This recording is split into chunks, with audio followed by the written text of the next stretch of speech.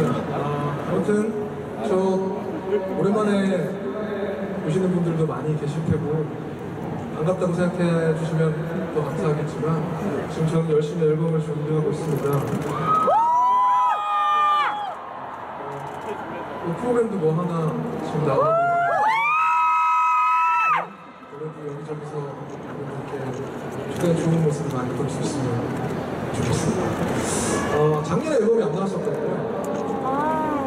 그래서 꽤 오래 앨범이 안 나온 것 같은 기분이 저도 있고 아마 그런 게저 되게 오랜만이라 그동안 뭐 하고 있었대? 라고 생각하시는 분들도 계실 텐데 작년에 저 뮤지컬 굉장히 열심히